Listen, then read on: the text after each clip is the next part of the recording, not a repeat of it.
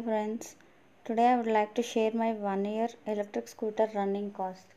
I am not going to give any details regarding the vehicle as I have done a detailed video.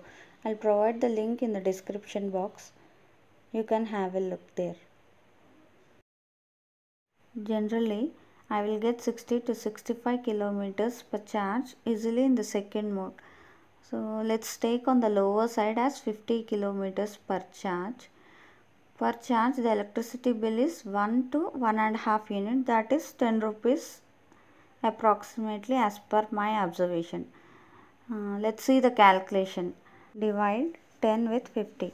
You get 0.2 that is 20 paise per kilometer. So till now my reading of the vehicle is 2400 kilometers.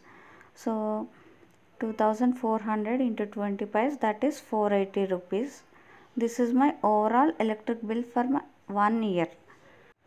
My earlier petrol vehicle used to cost me around 80 rupees for 50 kilometers that is 4000 rupees for the same reading. The total savings are approximately 3000 to 3500 rupees. Apart from the cost, what I like the most is there is no sound pollution and it is very environment friendly.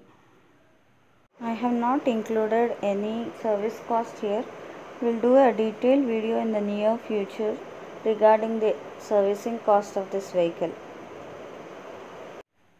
As per my experience, I think it is worth buying this electric vehicle. The pickup is very good.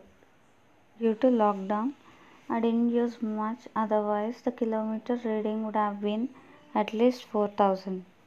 If I have not covered any points, please do comment me. Thanks for your time. If you like this video, please do like, share and subscribe. Thank you.